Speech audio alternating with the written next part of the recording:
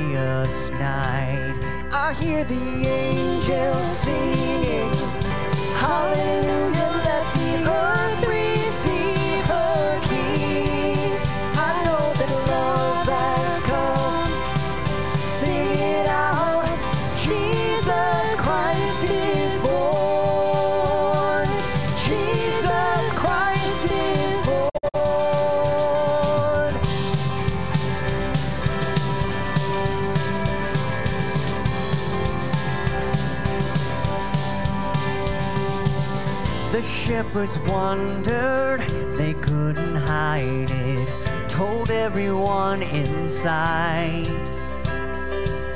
All were amazed when they heard how God came down on the glorious night. God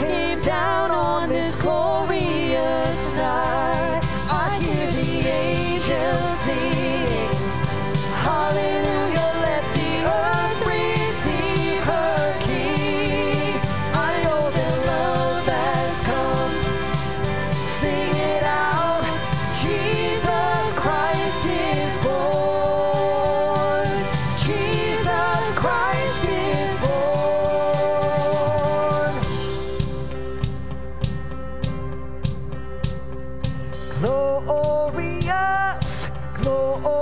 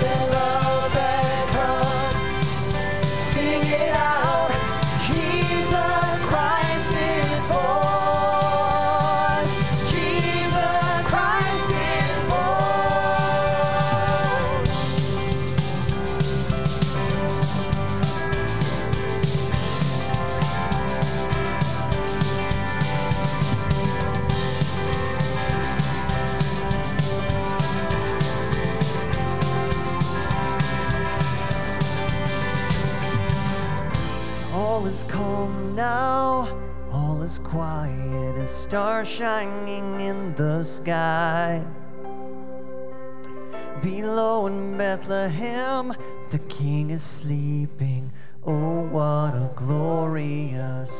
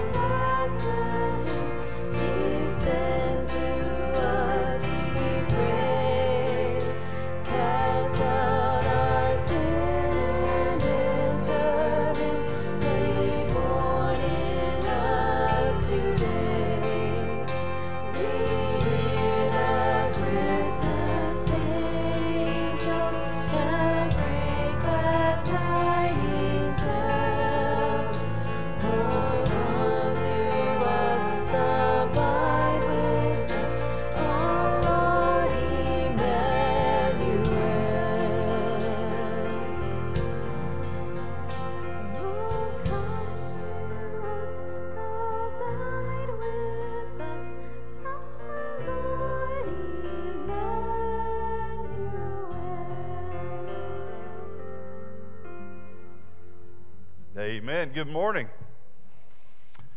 This time we set aside to say, Welcome to Three Rivers Church. If you're visiting with us today, we're so glad to have you visiting with us. There's a communication card that you can find in the back of the chair in front of you, and uh, we'd encourage you to uh, fill that out, and uh, so we can get know get to know you a little bit better, know how to connect with you. And if you would put those in the offering plate in the very back by that handsome fella standing up back there, Mr. Bruce. Um, or you can put them in the uh, mail drop box. And uh, we also do not have the offering plates being passed for our tithes and offering. Haven't done that for a while. But amazingly, we are still giving in tithes and offering because we've settled in our hearts um, and we are cheerful givers as God des- desires of us. Amen? Amen? Okay. We, I hope so. Um, I love Christmas songs. I love the Christmas decorations. And I've heard for years that uh, sometimes we get so excited about this festive time that sometimes we have to remember that some people aren't excited. Uh, some people are the exact opposite because the, the festivity, the decorations, the traditions remind them of tough times or loss and things that are in their, in their lives. And I just want to share a couple things with you this morning in our Sunday school class, our adult class, uh, there was an excerpt in there that said, Too often we rush into God's presence carrying the dust of the world and its cares. Pausing to recognize His holiness, we must set aside everything that hinders our encounter with the Lord. I remind us often that we come here today and we're here for one reason, and that is to worship Jesus Christ. Uh, but what makes it difficult oftentimes is we bring in a lot of difficult things. And when I think about the, uh, the Christmas season, we were just singing a little town of Bethlehem, and it said that in thy dark streets shineth. The streets can get really dark. Our lives can get really dark. But what shineth is the everlasting light the hopes and the fears of all the years are met in thee tonight. You see, what I am pushing through, I want to encourage others to push through, is it doesn't matter how difficult experience have been in this time of year because there is something that far exceeds that, and that is the reason that we celebrate it all. We may have forgotten and got too excited about the decorations are too excited about their traditions. But the excitement is in this Do not be afraid, I bring you good news that will cause you great joy for all the people. Today, in the town of David, a Savior has been born to you. He is the Messiah, the Lord. So it doesn't matter whether it's Christmas Eve, Christmas Day, or today, what allows us to push through the darkness is the light of Jesus Christ because we have given our lives to Him. And He is the big deal. And we're here to worship Him today.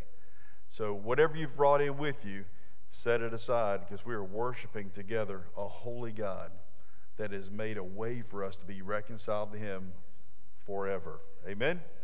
Father, we come before you. Lord, we love you. Lord, we thank you that you are so patient and compassionate with us and the silliness of our feelings and emotion and the things that weight us down. We push through that and we acknowledge that we have a Savior. He is Jesus Christ. He is our Lord. He is our Savior. And we are new creatures in Him. And you have given us and called us to a life of hope and joy because of the good news we know and live and get to share. Lord, may we worship you rightly and properly today. It's in your Son's name we pray. Amen.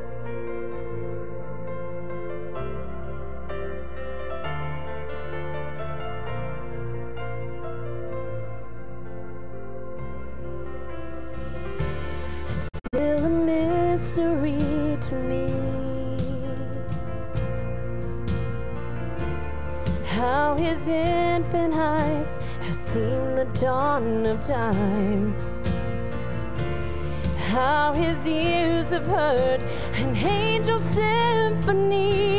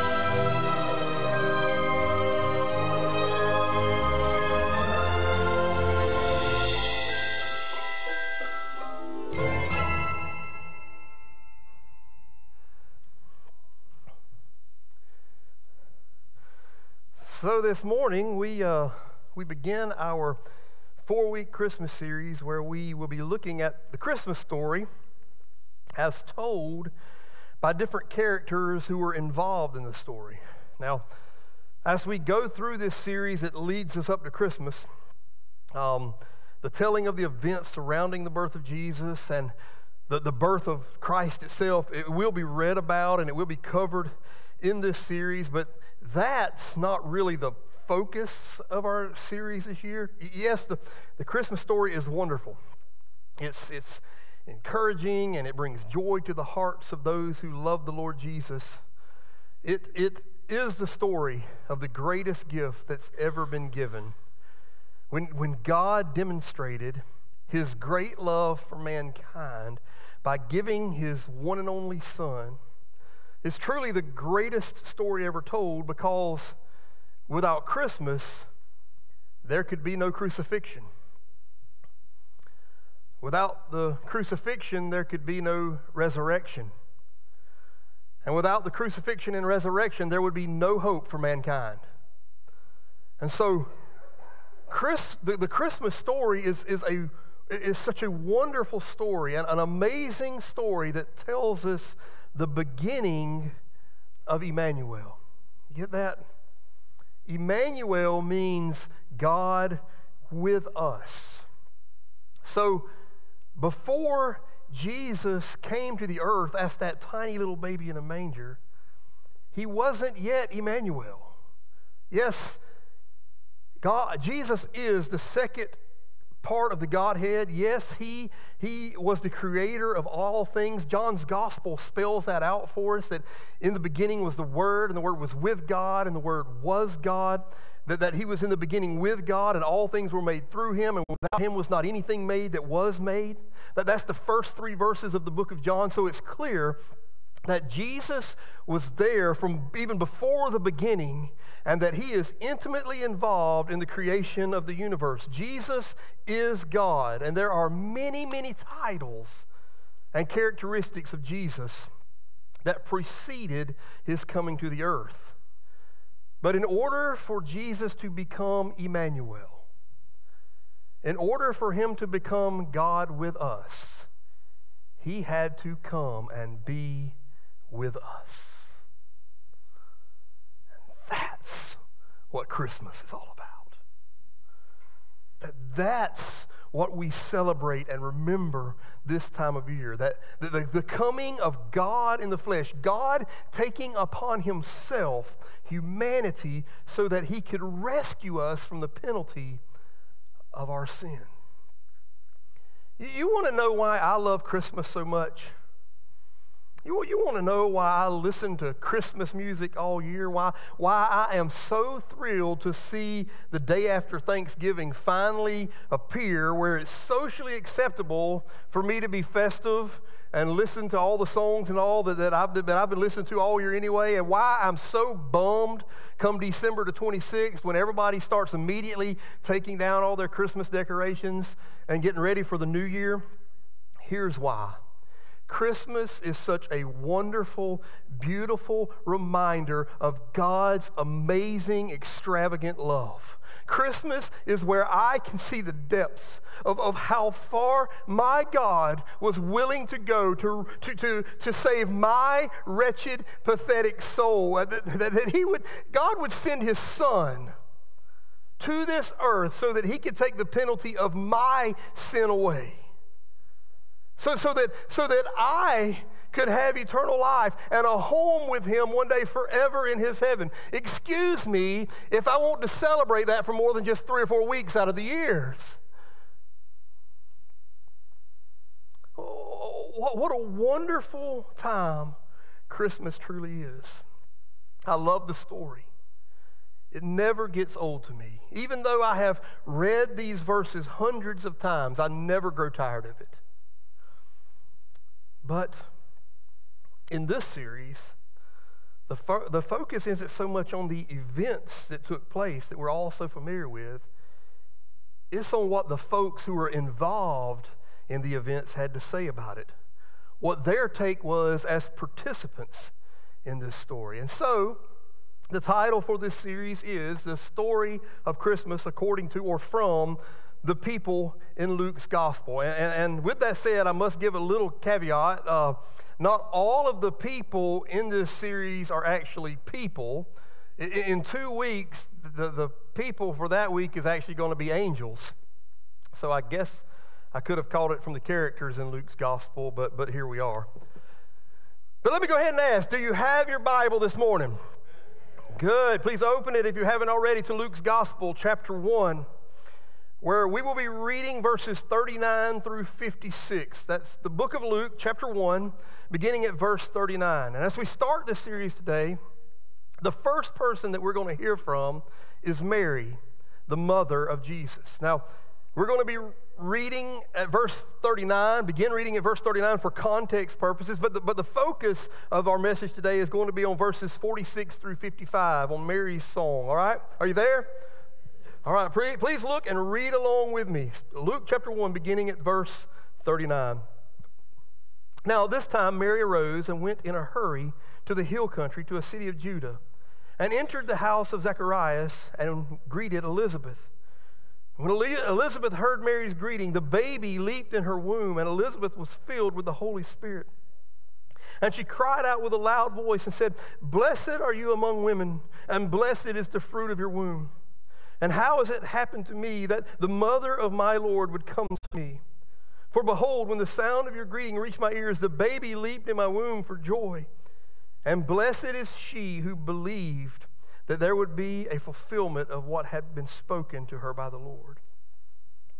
And Mary said, Here we go, My soul exalts the Lord, and my spirit has rejoiced in God my Savior.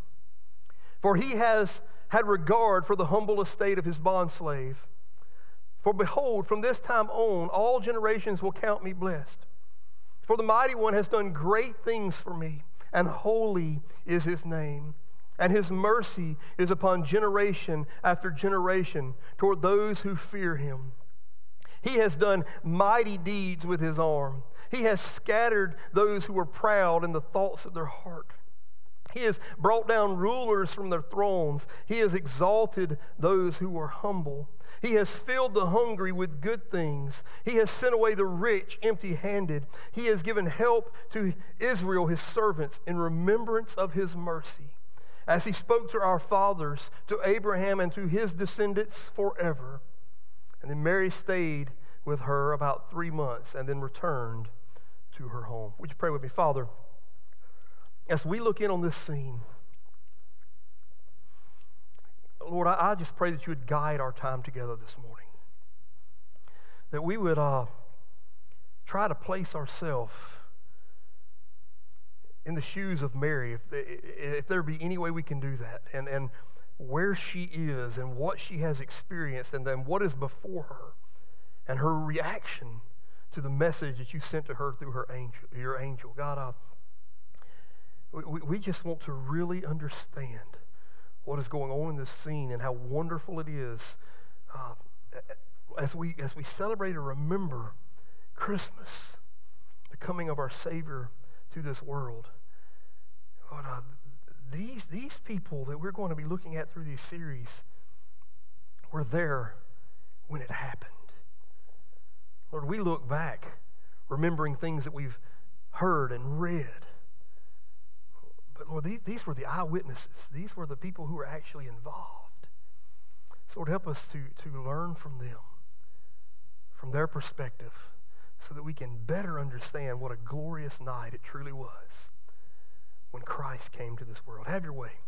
And we'll thank you for all that you do. We ask it in Jesus' name. Amen. Do we have any old school country music fans here?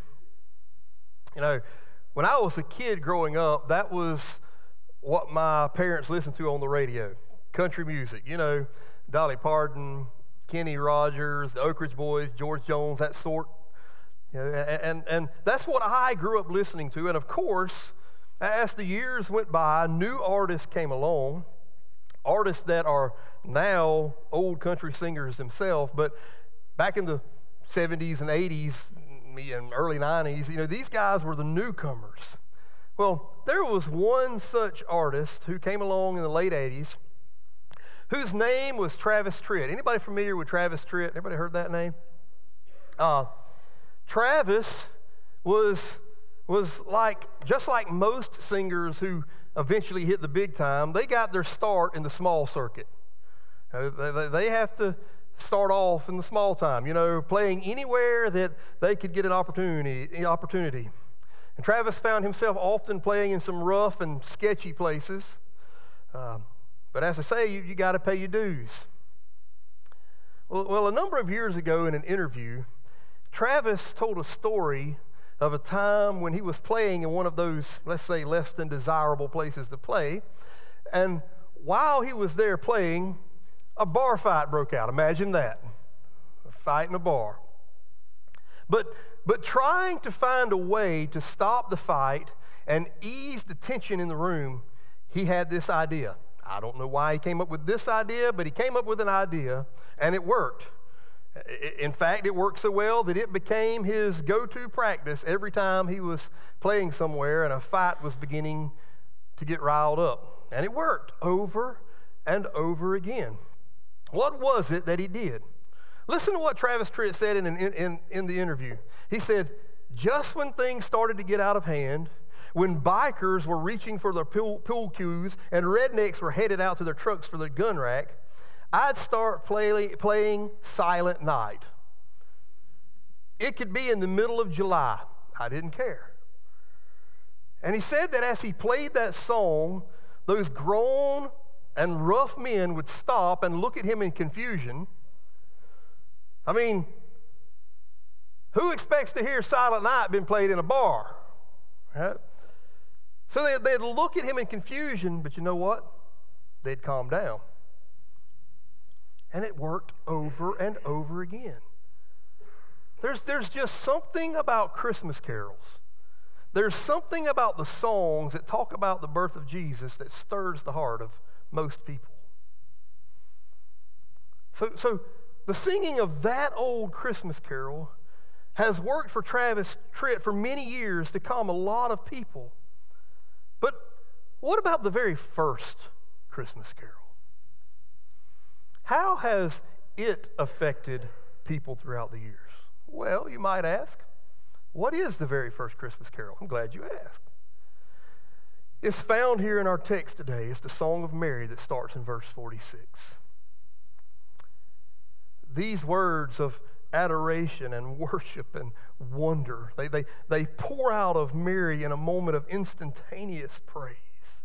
And they are so beautiful, so full of truth. They're full of Old Testament references that come from both the Psalms and from Hannah's song of praise in, in 1 Samuel chapter 2. And so, what we can see here in Mary's words in Luke 1, by her, her echoing the words from Psalms and from 1 Samuel, what we can see from Mary is that she knew the scriptures. Mary had hidden the words of God on her heart. And when an occasion occurred for, for, for her to bless the Lord and praise his wonderful name, she did so using the very words of God himself, singing, singing them back to him from what she had written on the tablet of her heart. The Song of Mary has become known as the Magnificat. Your Bible probably has, has it labeled that way just before verse 46. Most Bibles do, the Magnificat. Why this title? Why the Magnificat? Well, it's because of the first line of Mary's song, which says, My soul exalts the Lord. Or some translations say, My soul glorifies the Lord. Some say, My soul magnifies the Lord. Whatever translation you may be reading, it will have some rendering of this statement. And they all mean the same thing to make great, to praise, to revere. And the Latin term for this word is guess what? Magnificat. And so, and so that's where the title to Mary's song comes from. is from the Latin word which means to magnify the Lord.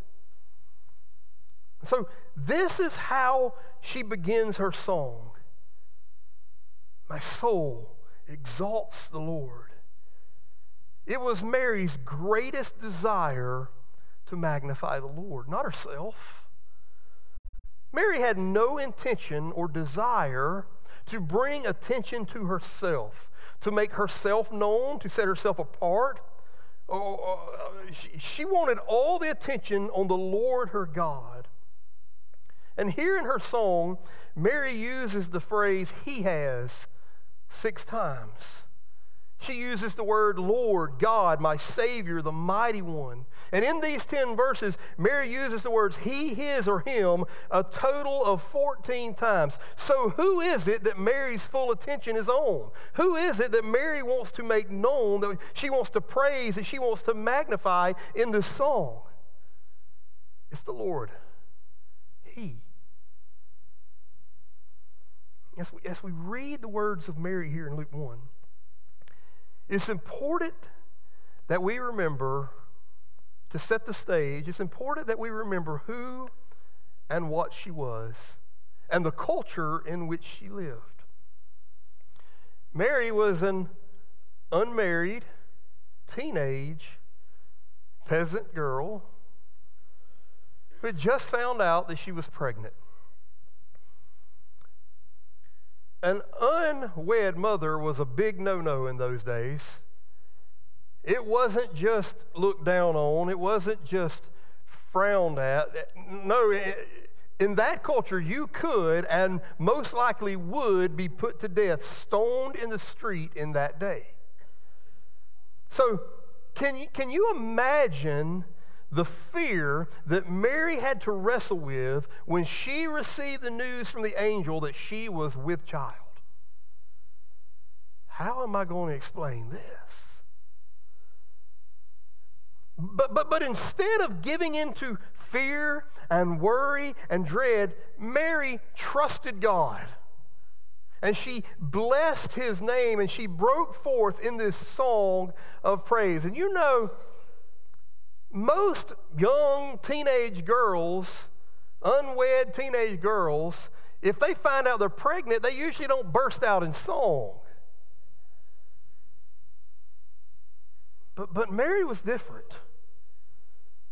Mary was, was very different. And not only was, was Mary different, but more importantly, the child that she carried was different. This child was different than any other child that had been or ever would be born. And Mary had just been told by the angel of God that, that, that she had been chosen by God to be the mother of God's own son. No pressure, Mary. I mean, can you, can you even begin to imagine? Think about it, ladies.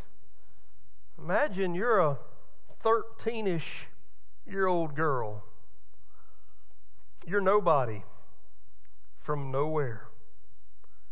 And all of a sudden, an angel appears to you and delivers to you the message that you're pregnant and that you have been given the responsibility to raise the Son of God. Put yourself in those shoes. You know, when, when the angel first appeared to her, he said, Do not be afraid, Mary. And I understand why. Being in the presence of an angel is a terrifying thing for mortal men. Uh, there, there's, there's a reason why an angel's standard greeting in the scriptures begins with the words, Do not be afraid. Uh, angels are magnificent creatures who, whose countenance carries the glory of God.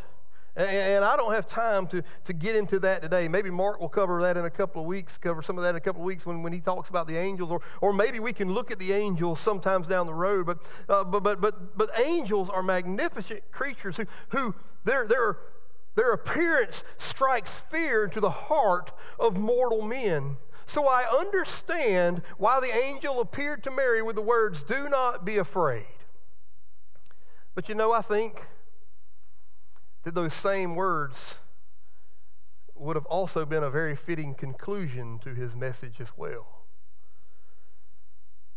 after being told that she was going to be the mother of the Son of God, that she was going to be responsible to raise and nurture the Son of God, I think it would have been very fitting for the angel to depart speaking the same words with which he appeared. Don't be afraid, Mary.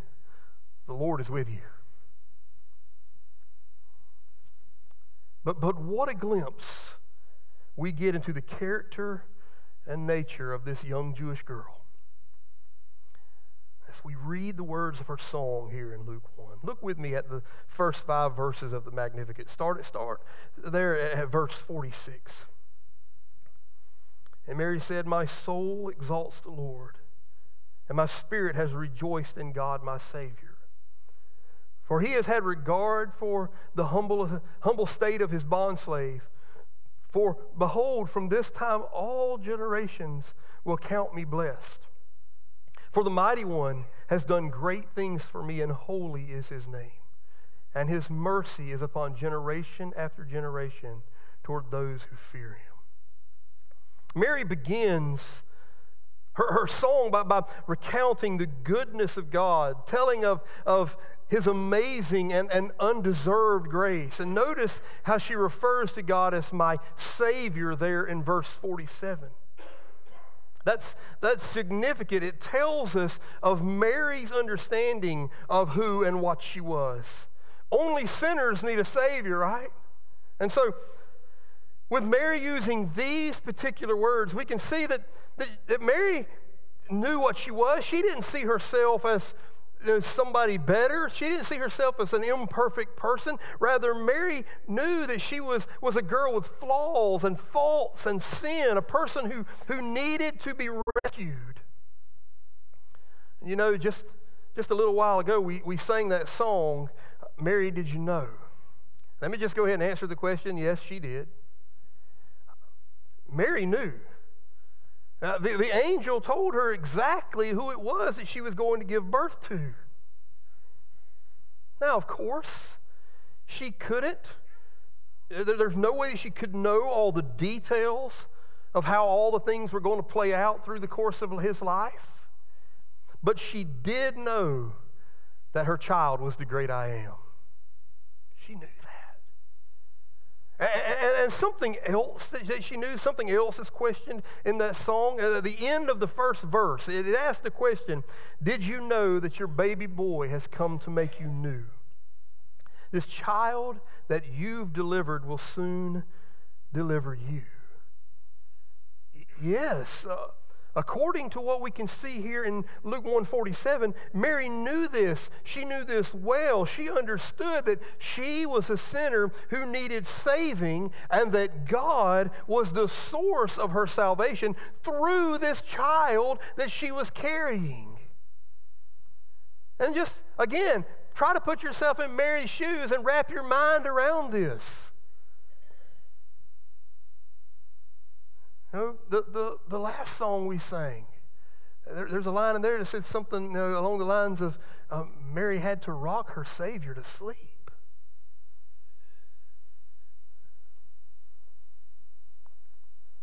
And, and in verse 48, Mary continues to acknowledge her unworthiness and the blessing that, that, that she had received, saying in, in verse 48 For he has had regard for the humble state of his bondslave. For behold, from this time on, all generations will count me blessed. God has looked upon me and He's blessed me. I don't know why. I can't explain it. I don't deserve it. But the Lord, in His amazing and infinite mercy and grace, He has looked down on, on my humble state and He has blessed His bondservant. Mary understood how insignificant she was in the world's eyes. And she understood how small and powerless and undeserving she was before an almighty God. And her words here show us this. She felt totally unworthy to even be seen by God, much less chosen by Him. Mary was just another poor Jewish girl one among thousands of poor Jew, Jewish girls. But more than that, Mary was from all places Nazareth. Now, Nazareth was not a desirable place to be from. Nazareth was, was, a, was just a poor, little known place. In fact, Nazareth was mostly unheard of outside of the Jewish people. Only people with part of the nation of Israel even knew about this place for the most part. It was off the beaten path. It was, it was a little obscure place, a place that was looked down on by all the other Jews. It's a town that is not mentioned anywhere in the Old Testament. And it only appears in the New Testament because that's where Mary and Joseph were from, and incidentally, where they would return and raise Jesus. But if it weren't for that, it's likely that the scriptures would never have uh, mentioned this obscure little town at all. And, and all the other people, you know, all those proper Jews, they all looked down on folks from Nazareth. People from Nazareth were thought to be unrefined, uneducated, ignorant, and crude. And that's why in John 1, when Philip is told that they had found the Messiah, Jesus of Nazareth, when Philip heard that message, his knee jerk reaction was to exclaim, Nazareth? Can, can, can, can anything good come from Nazareth? So understand that Nazareth was, was not a place that you bragged about being from. It was, it was a place that you tried to keep people from knowing you were from. So put yourself in Mary's shoes here in Luke 1. She is literally nobody from nowhere. She's just one of thousands of poor Jewish girls, and then one who would have been considered by all the rest of the nation of Israel as the least of all the thousands of poor Jewish girls. So why why would God choose her? Because that's exactly what God does.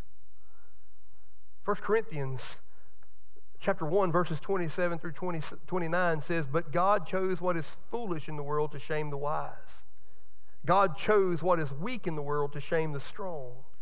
God chose what is low and despised in the world, even the things that are not, to bring nothing to things that are, so that no human being might boast in the presence of God.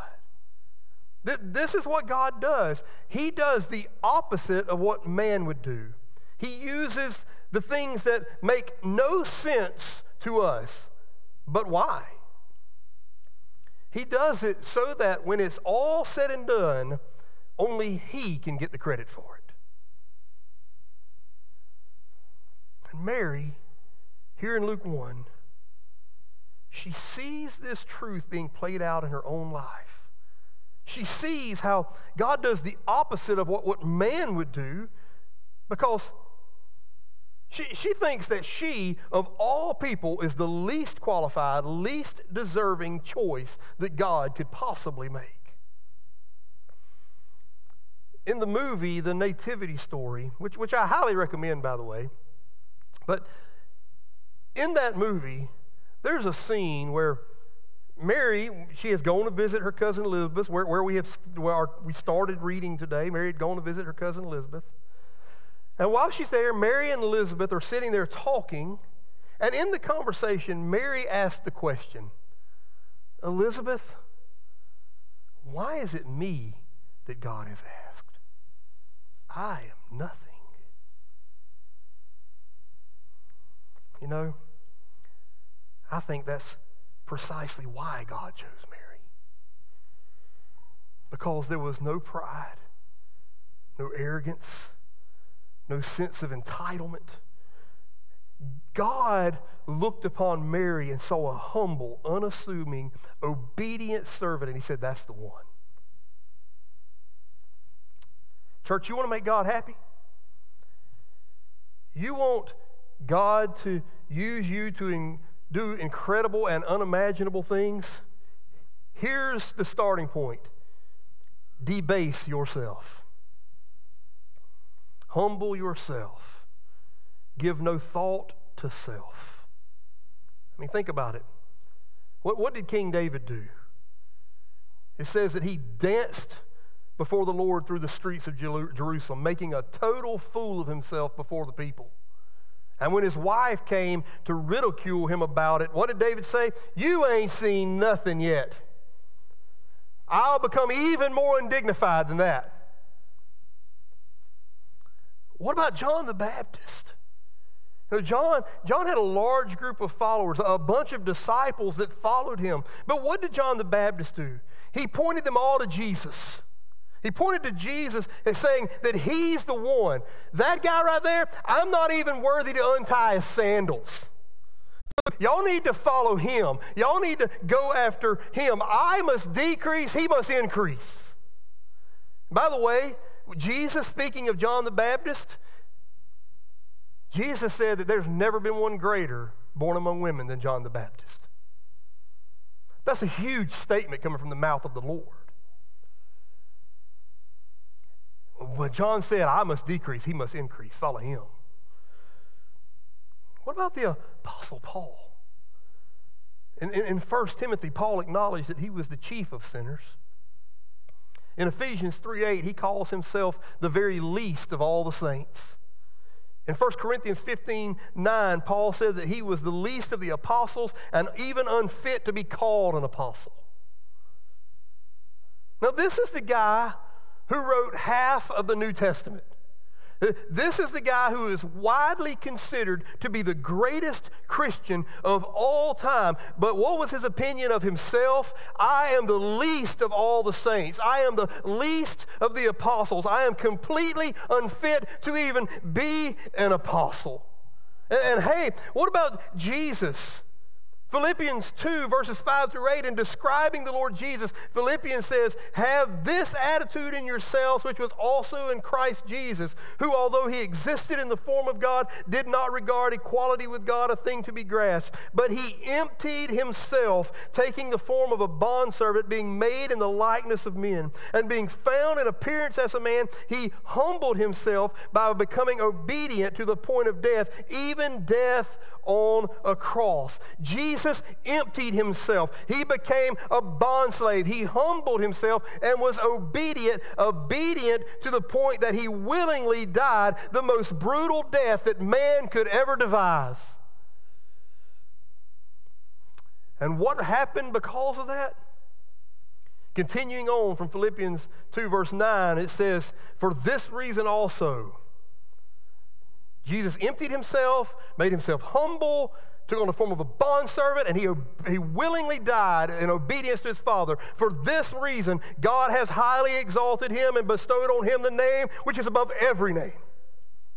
So that at the name of Jesus, every knee shall bow under heaven and on the earth oh, in the heavens and on the earth, and every tongue will confess that Jesus Christ is Lord to the glory of God the Father.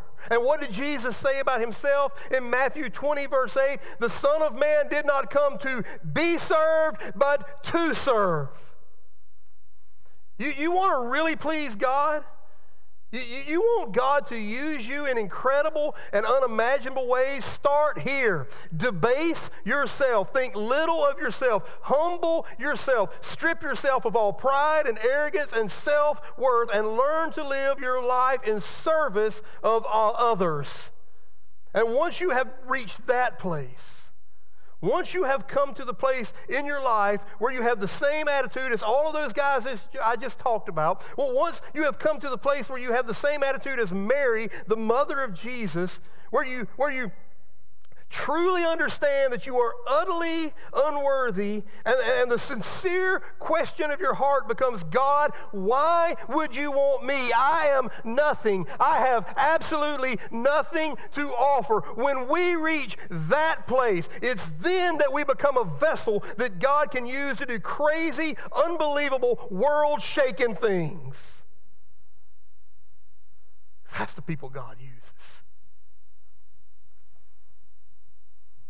You know, if you walk into a business, some business, or walk into a school or, or, or some big building and you see a guy walking by and he's got this giant key ring hanging from his belt, who would you instantly know that guy was? The janitor.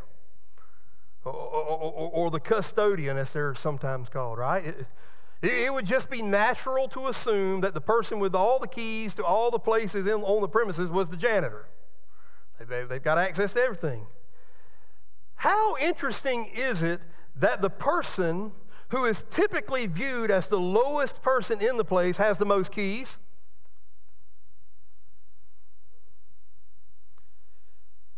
But the keys come by serving. In the same way, you don't gain keys in God's kingdom by climbing up. You gain keys by bowing down. You find keys in servanthood.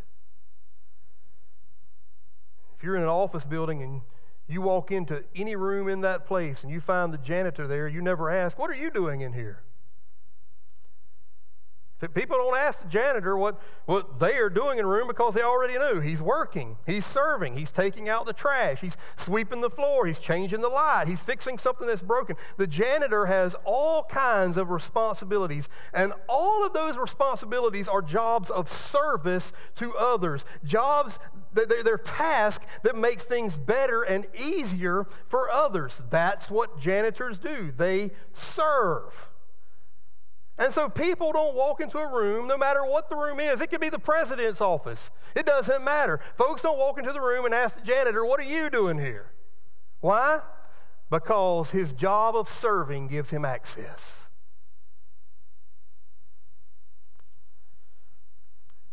Remember what I just shared with you about what Jesus said about himself in Matthew chapter 20.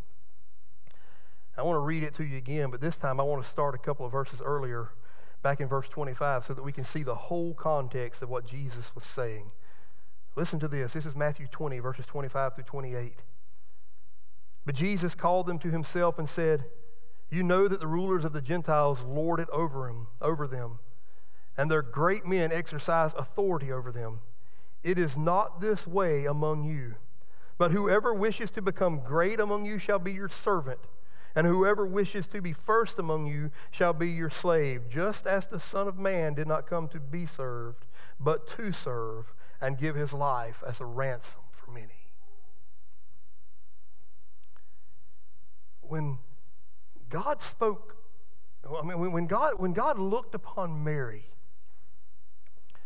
he saw a humble, unassuming, obedient servant, and that was exactly the qualities that he desired for the mother of his son to have. So God chose her, and he blessed her, and he entrusted her with the care of his son. But Mary, Mary was very much aware of the fact that she was unworthy.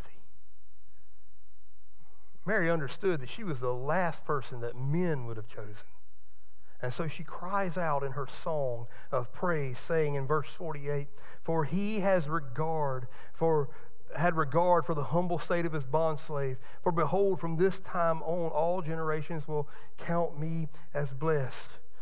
For, for the mighty one has done great things for me, and holy is his name, and his mercy is upon generation after generation toward those who have fear in him. Mary exclaims that God's mercy is upon generation after generation to those who fear him. This is a reciting of the words of Psalm 103 17. And the whole psalm of Psalm 103 is a song that's all about the undeserved mercy of God. That, that, that psalm begins with the words, Bless the Lord, O my soul, and all that is within me. Bless his holy name. And Mary, she recites from this psalm and she, she's praising God and she gives thanks to Him for, for not only for, for what she, not only giving her what, not, for not only not giving her what she deserved, but for the mercy and love and grace that He has shown. For, for withholding from her what she did deserve, just like He does for all who fear Him. That's the undeserved grace of God. And, and saying that is really a redundant statement because grace, by its very de- definition, is undeserved. Grace is just something you don't deserve to get. But what we see in the first four verses of Mary's song is that God loves the underdog. God's the champion of the weak and the feeble. He, he, he chooses the ordinary, he, he embraces the unimpressive. And that's exactly what Mary's was, Mary was, according to the world's standards anyway. She was the weak, the ordinary, the unimpressive. And as the angel came to her that day with this unbelievable, unimaginable, extraordinary news, she knew, she was fully aware that she was unworthy, that she was just like all of us, a sinful human being who was in desperate need of a Savior. So she's amazed. She's amazed that God, who knew everything about her, all of her flaws, all of her failures, all of her shortcomings. God knew everything about her, but He chose her anyway. She's amazed by this, and, and so am I. As, as, I stand here before you today, I am fully aware of who and what I am. I am fully aware of how undeserving I am to be loved and accepted and forgiven by a holy God, much less be used by Him to do anything. Uh, so, so, oh, how I can relate to Mary's words here in verses 49 and 50. Look at those words again. For the mighty one has done great things for me, and holy is his name. And his mercy is upon generation after generation toward those who fear him. Now look at verse 51. She goes on saying, he has done mighty deeds with his arm. He has scattered those who were proud in the thoughts of their heart. He has brought down rulers from their thrones, and he has exalted those who were humble. He has filled the hungry with good things, and he has sent away the rich empty handed. And in these verses, Mary speaks of God's unmatched power and his sovereign reign over all things. He has done mighty deeds with his arm. He scatters the proud. He brings down rulers from their thrones. He exalts the humble, but, and, and, and he fills the hungry with good things, but, but he sends away the rich empty. What does all this mean? Again, it means that God does things exactly opposite of how the world does things. He flips it all upside down. All of the stuff that this world holds dear power, prestige, fame, and fortune. God's not impressed by any of that.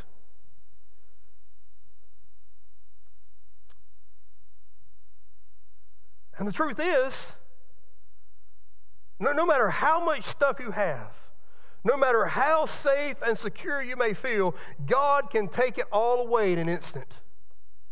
It can be gone. Verse 51 speaks, speaks of the strength of God's arm. And as I read that, I think back to when I was a small child, and, and I would challenge my grandfather to an arm wrestling match. Now, thinking back, this had to be a pitiful yet hilarious sight. Uh, my pathetic little scrawny self with my little hand engulfed, and I mean, I'd put it up there and he'd wrap his hand around mine and it would completely disappear as Papa would wrap his hand around my little hand. And I'd even use both hands, right? I'm pulling and tugging. I'm using everything I'm got, all my body weight, and I still couldn't budge him. My grandfather was a man's man. He worked his whole life on the farm. He had those big Popeye like forearms. I mean, strong.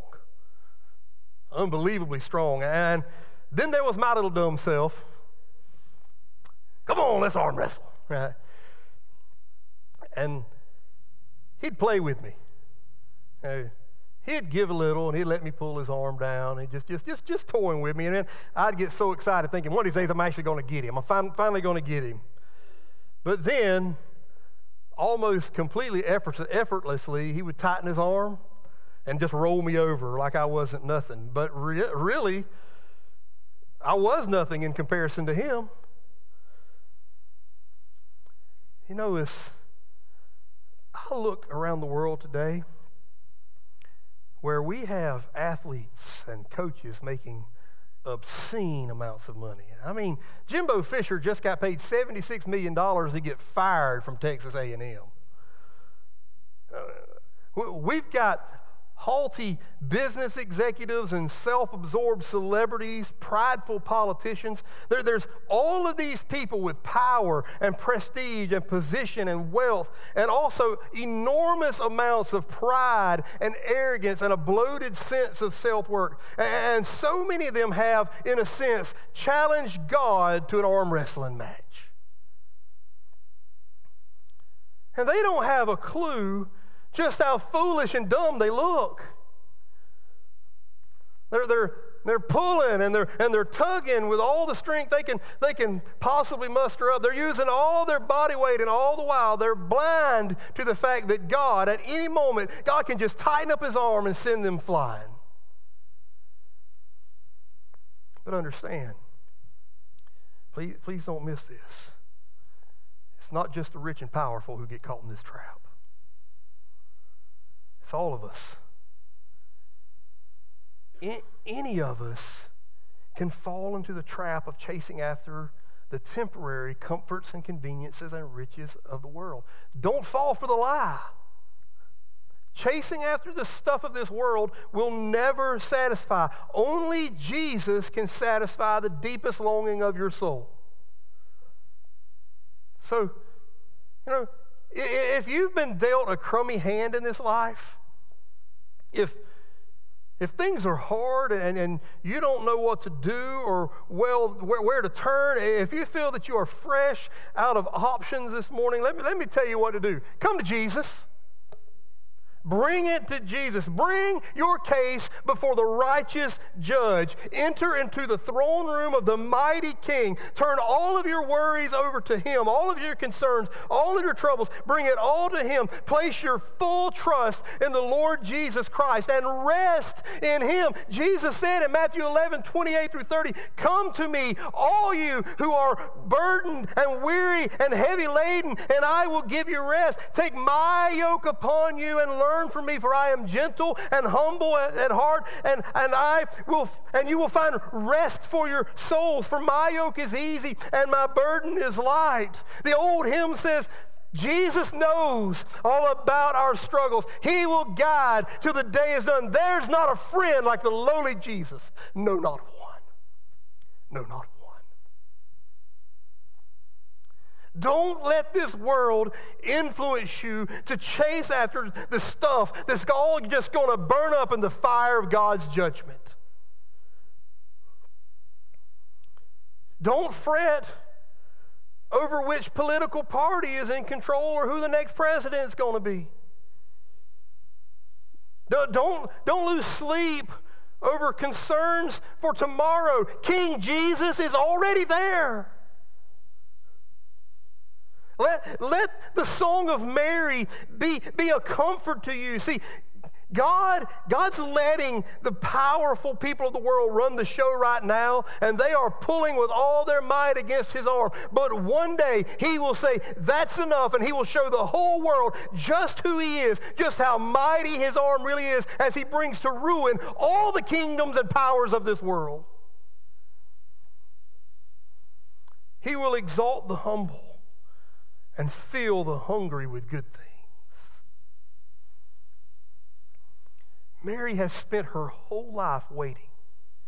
She's been looking forward to the day when God would send the promised Messiah. She's been waiting for the hope of Israel, but not, not just the hope of Israel, the hope of the whole world. And she's, she's been waiting for to, him to appear, just like all the nation of Israel had. But she never, not even in her wildest dreams, could she ever have imagined that God would choose her as the vessel through which he would send the Savior. But now, here she is, stunned, stunned in amazement and wonder. She's singing the song of praise, a song of adoration and thanksgiving to God for what He has done and what He was going to do. And what is it that God was going to do? Look at verse 54. He has given help to Israel his servant in remembrance of his mercy. And he has spoke as he has spoke to our fathers to Abraham and his descendants forever. God will fulfill his promise. Mary remembers the covenant that God had made with Abraham and his descendants, rejoicing in the promise that this covenant has no expiration date. What does she say there at the end of verse 55? As he spoke to our fathers, to Abraham and his descendants, for how long? Forever. That's the emphatic final word of Mary's song, forever. And that word is the anthem of God's love throughout the scriptures. Just, just, just go read Psalm 136. Psalm 136 begins Give thanks to the Lord, for he is good, for his love endures forever. And following that opening statement, Psalm 136 goes on to say 25 more times, His love endures forever. Psalm, I mean, Isaiah chapter 40, verse 8, it says that the grass withers and the flower fades, but the word of God endures forever. Hebrews 13, 8. Jesus Christ is the same yesterday, today, and forever. Forever. When you place your faith in Christ Jesus the Lord, you are secure for how long? Forever. That is the promise of God. That is the emphatic final word of Mary's song forever. Mary, Mary, understood just how massive this message, message that she had just received was. She, she understood that, that through the child that she carried, God was going to fulfill his promise and change the course of not just her life through this child, but, but, but God was going to change the course of the world through this child. And so, moved by amazement and awe and thanksgiving, Mary sings this song of praise to God, her Savior. I heard a story once of a man who one day he decided that every time he got paid, he was going to take $20 from his paycheck and he was going to hide it under his bed. And so he, that's what he started doing. He didn't tell anybody about it he just started tucking $20 away. And he, and he did this for years, storing up for himself quite a significant stash of money over, over the years. Well, as the man got older, he got sick, and he knew that he was approaching the end of his life. So just, just before he died, he told his wife about the money, and he asked his wife to make him a promise. His dying wish was that when he died, that his wife would take all of that money and put it in his casket so that he could take it with him. Well, the man died. And his wife, keeping her promise, she went and she gathered up all the money. She went and put it in the bank and then wrote a check and put the check in her husband's casket. What's my point? There are far too many people in this world who write checks to God that they never have any intention of cashing.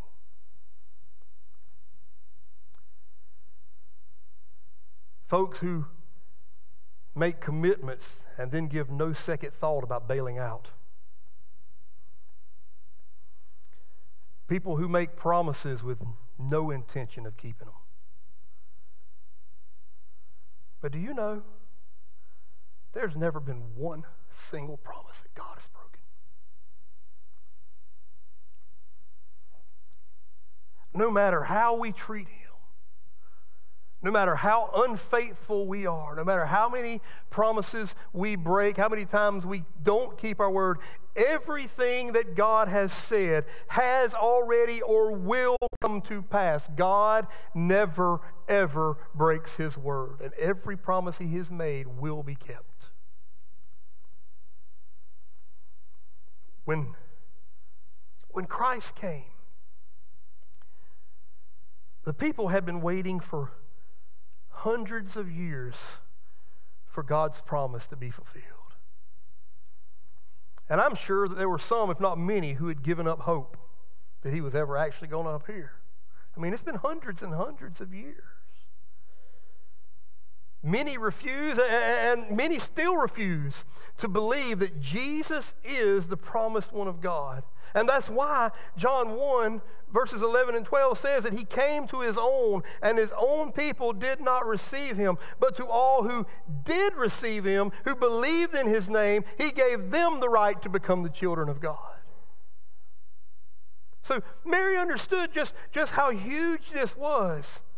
Although it made no sense to her that God would choose her, although I'm sure that she had doubts and concerns and fears, she trusted God and she rejoiced in his salvation. And so, this is our first message in our Christmas series a, a look into the story of Christmas from the perspective of Mary, a listening in on her song of praise, a song about God's grace and about, about God's power, a song about God's goodness, a song all about God, about what God has done, and about what God is going to do. Mary's focus is completely on God and His goodness, but in the middle of this song that is all about God, we can also see something about Mary. Mary was a woman of great faith. She was a woman who believed in and trusted God's promise. Even though it made no earthly sense, Mary held to her faith and her trust in God, knowing that He cannot fail.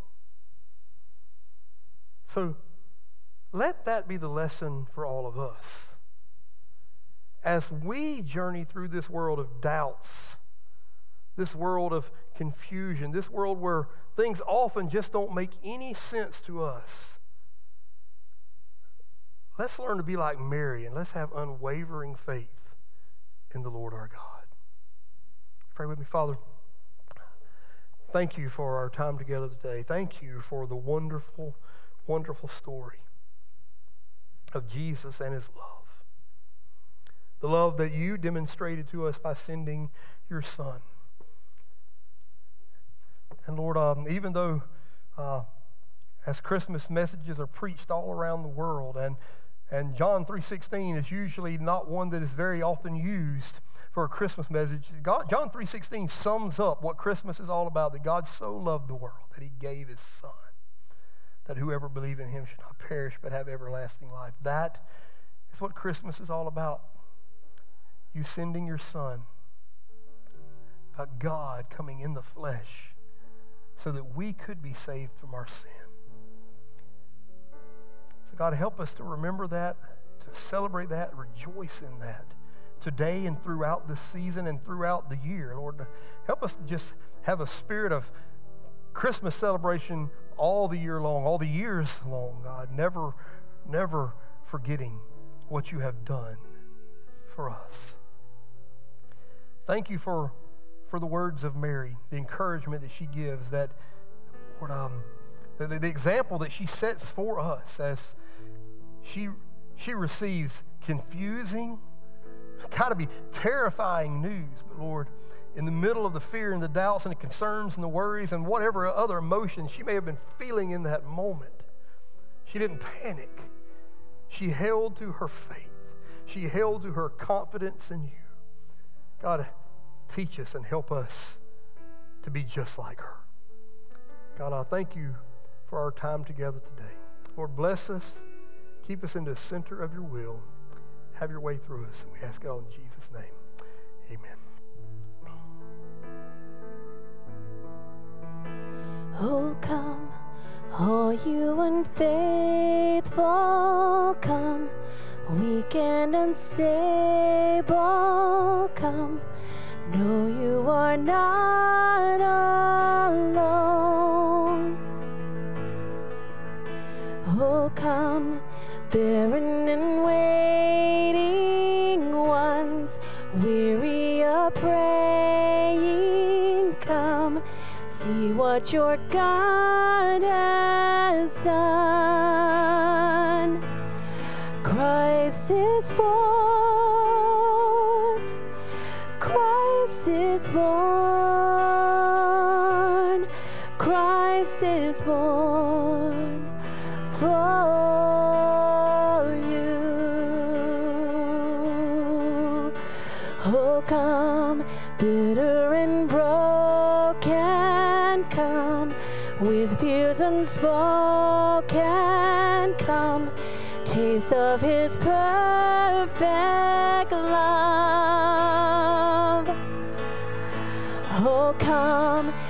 guilty and hiding once. There is no need to run. See what your God has done. Christ is born. Christ is born. Christ is born